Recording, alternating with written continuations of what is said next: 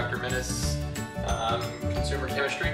And this week we're going to be making a uh, cross-linked polymer, um, aka flubber. Um, and the lab called to do um, uh, one mix to make one flubber ball, but I sort of cut it in half and I'm going to try to make two flubber balls, uh, different colors, just for fun, just to do something different and have two to play with instead of one. I mean, you wouldn't want it to get lonely. So what we're going to be doing is taking uh, glue, good old-fashioned Elmer's glue that we all used to eat when we were in elementary school. Then we're going to take some uh, uh, 20 Mule Team Borax. My wife actually had this on hand for laundry We'll be using that. Um, I've already got that separated in, uh, into a, a, little cup here, so I don't have to dig it out of this big hefty box. Um, and water. And then for fun, um, got some uh, assorted food color and egg dye since it's uh, almost Easter time. Everybody's going to be dyeing eggs for their kids.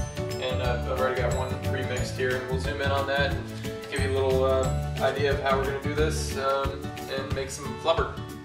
All right, stay tuned. We'll zoom in here shortly.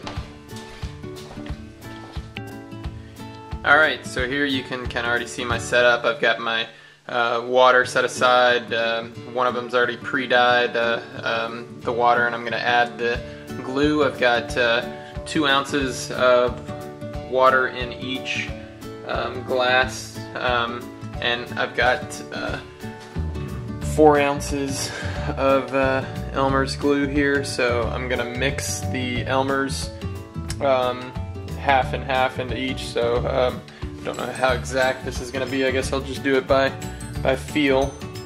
So here we go.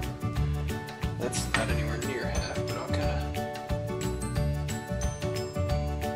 of just play it by eye here, I guess. So you get the idea on that. Um, I'm going to keep mixing this. It's going to take a little longer than I thought, so I'll go ahead and uh, get this mixed and uh, we'll get to the next part and stir it up and um, uh, show you the other fun stuff here in a moment. So that's it for now. Alright, so hopefully you can see that pretty well. This one I've uh, stirred up the glue pretty good. Um, I've already, already added my, uh, sorry for making that loud bang in there. I had already added my two food colorings to that. Um, I was trying to make a Tar Heel blue color. Uh, came pretty close, uh, kind of more of a teal than a, than a Carolina sky blue, but hey, it was, it was close. So I'd kind of tried to play with those two to get that color. Um, then on the next one, I've got the um, uh, glue. Haven't really mixed it yet. Um, I'm going to be adding some red dye, so we'll kind of walk you through that process here, um, and you can kind of see it all unfold. So we'll add a couple of small drops of that, and take a spoon here, and stir it up. So again, the, the lab called for just one. Um, I sort of wanted to do two just to, you know, to have two flubbers to play with instead of just one. Dr. Minnis said in her video, um, who wouldn't like flubber, you know? So the more flubber, the merrier. That's kind of turning out a little pink, so I want it to be a little darker. Let's see if more dye makes that darker. So I probably put too much in, but I don't want it to be pink. Yeah. There we go. So that's to look a little red, so you get the idea. Mix these together, it's still turning a little pinkish, but oh well, we'll just go with that. So we're to have two different colors of uh, flubber. And uh, I'll show you the process of the poly polymerization, polymerization, I guess is how you say it, when we add the borax saturated water here in just a moment. Alright, here's the next part of the process. I've kind of cut everything in half again, so I'm going to be doing this uh, times two. I've already got my water set aside. Um, the lab originally called for, um, what was it, a quarter cup of water, so I've cut that in half. I've got that set aside here, and then it said to add about a teaspoon uh, to each. So I've got a quarter teaspoon, and I'll be adding uh, half a teaspoon to each. So I'll go ahead and add uh, half a teaspoon of borax to each um, glass of water I've got here, and this will be my uh, borax solution. And um, I think I'll have to look at that by eye and see out because we don't want it to be completely dissolved from what I understand, but um, that's that. So we've added the borax to the water and um, I'll get that mixed up and the next part will be adding our borax solution to the previously made uh, glue solution over here and we will um, make some flubber.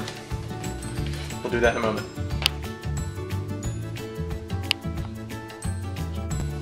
Alright, so now for the fun part, we're going to um, add the um, uh, borax solution to the glue solution and try to make some flubbers. So uh, I'll have two flubbers instead of just one, and uh, that's more fun. So let's see what happens. Uh, here goes uh, my borax solution. Um, hasn't dissolved quite the best. I don't think it was supposed to, but uh, we will uh, see what happens here.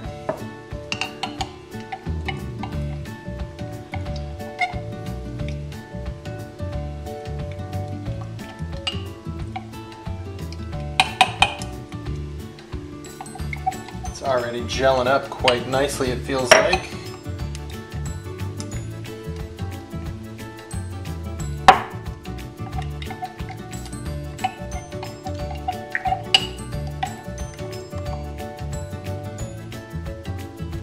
And it looks like we've got the beginnings of some flubber. It's not quite as uh, pretty as uh, the one in Dr. Minnis's video, but we'll work on it, stir it up some more, and see if we can get some uh, some some good flubber that we can play with. Hey, and I made two, so we'll see what happens on the next one. Uh, so I'll continue this process, uh, beat this up a little bit, and hopefully I'll have some uh, good flubber to play with, and uh, We'll show that on the next segment. Alright, so I got the, uh, the blue flubber kind of beat up and um, got it out. Now I'm beating up the red flubber. Um, first one came out pretty good. This one looks like it's going to come out even better. So my uh, mixture must have been a little off in the first one, but this one seems to be oh so right compared to the other one. Wow, hardly a drop left in the glass, so that one's uh, pretty good. As you see, there's the flubber. Um, kind of stick it to my hand a little bit, um, but you can kind of see that. And I can ball it up and play with it. And I'll show you more with both of them together here in just a moment. Uh, right now I want to get it out of my hands and clean my hands off and um, we'll uh, show you more flubber in just a minute. So there it is, the finished product. We've got uh, two flubbers here. We've got uh, pink one, kind of looks like a pancake on a piece of paper, on a paper plate, but uh, it's definitely far more than that. And here's the blue one. So, just to give you an idea of what we can do with these guys. Um, as you see, it's uh, kind of rubbery, like silly putty. Ball it up, stretch it out, and play with it. So here's the uh, other one, pink one, same thing. And if I set them both back in the plate, they'll kind of take the shape of the plate, which is pretty cool. Funny thing about this stuff is uh, I remember one time uh, I took my nephews to um, arcade place and they both uh, pumped uh, $20, $30 worth of uh, money into arcade games and got tickets and um, then uh, spent all the tickets on uh, some flubber that we made at home for, I don't know, probably a couple of bucks. And they spent $30, $40 on a can of flubber. Um, and you can make it at home. And it's pretty easy and pretty fun to do at the same time. So that's week seven lab, cross-link polymers, and flubber. So uh, fun stuff to do, and uh, I'm gonna go play and have some fun with the flubber. See you next time.